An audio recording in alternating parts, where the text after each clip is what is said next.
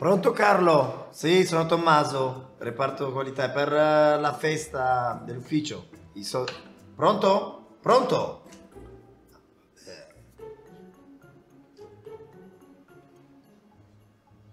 Pronto Elisa? Ciao, sono Tommaso, reparto qualità, il, capo... Il, project manager, Elisa. Eh, era per i soldi della festa in ufficio. Scusami un attimo.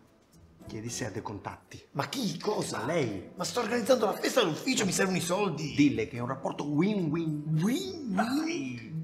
Win-win, te la spiego dopo. Ah, Win-win. Ma che devo fare? Il fa, Fa? il fo- Il fantasma, sono No! rimasto solo qui, no? Il fundraising. Elisa, scusami, devo vedere un video.